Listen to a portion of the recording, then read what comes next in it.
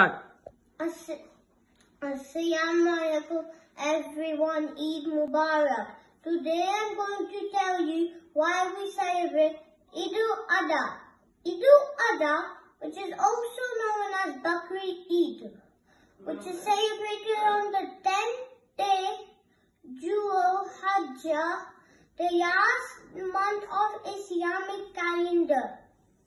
Uh, Eid al-Adha is combined into two words. Eid, which stands for festival, and and Adha, which stands for sacrifice. Allah sent many prophets to spread the message of Islam. In the Quran, there are 25 prophets mentioned, and today, and one of them is Prophet Ibrahim and today I'm going to tell you his story. Prophet Ibrahim once had a dream one night. Allah subhanahu wa told him to sacrifice his beloved son, Ismail. Could you ever imagine I'm sacrificing someone so close to you? Prophet Ibrahim um, um, went to fought, fought back um, Allah will do such things for a good reason.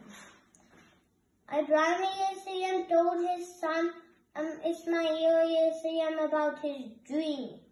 Ismail said to follow Allah's command. Ibrahim placed him on the ground and placed um, and uh, and when he was about to cut his son's neck, a miracle happened. His son was replaced by a sheep.